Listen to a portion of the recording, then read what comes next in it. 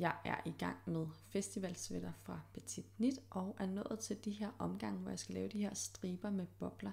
Det vil sige, at jeg har lige strikket en omgang med udtagninger og er nu ved omgangens start her. Så jeg tager fat i det garn, som jeg skal lave øh, de her striber med bobler i. Og nu skal jeg flytte en maske, altså uden at strikke den, og så skal jeg strikke tre masker i en maske.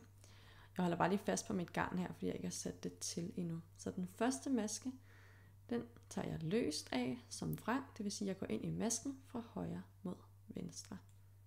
Sådan der. I den næste maske, der strikker jeg en ret, uden at tage masken af venstre pind. Sådan der. Masken sidder stadigvæk herover, som jeg har strikket i. Og så laver jeg et omslag til garnet foran pinden og bagover og strikker ret i den samme maske igen. Og lader den så falde af. Sådan der, så har jeg strikket tre masker i den ene maske. Så løfter jeg en maske af som vrang, altså går ind i masken fra højre mod venstre. Og tre masker i den næste maske.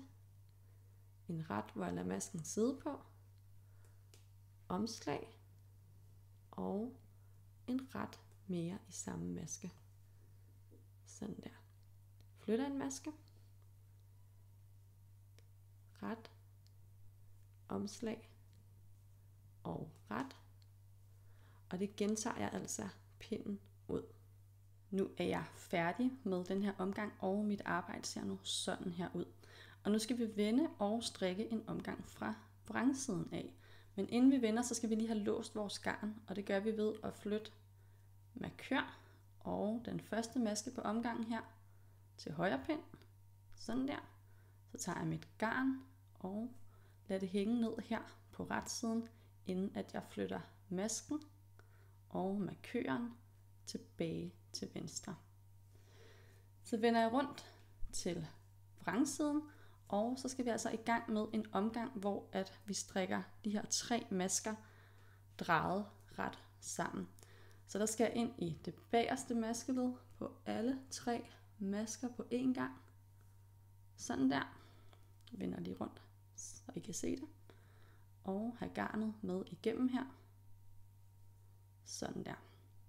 Så flytter jeg den maske her over, ligesom jeg gjorde på omgangen før med garnet bag arbejdet. Sådan der. Og strikker de næste tre drejet ret sammen. Og det gør jeg bare omgangen ud. Og det er jo ikke fordi, det sådan er nemt at komme ind i sådan tre masker her på én gang. Så hvis jeg får det til at se nemt ud, så øh, er det pure luck.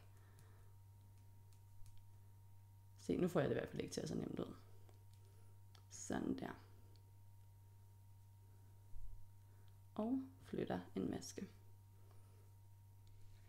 Et lille tip, det er lige at få spredt sit arbejde godt ud her på højre pind, fordi at hvis vi får strammet det helt vildt meget sammen, så bliver den her øh, tråd, vi har liggende på retsiden imellem de her små bobler her, altså for kort. Så inden at jeg strikker tre drejet ret sammen, så sørger jeg lige for, at det er spredt godt ud herover, så der er plads, og så strikker jeg tre drejet ret sammen.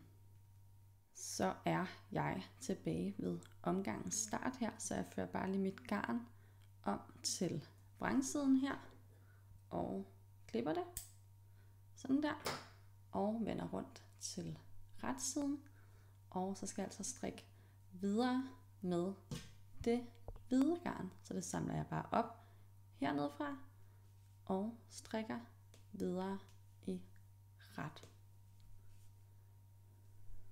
og så ser mit arbejde altså sådan her ud.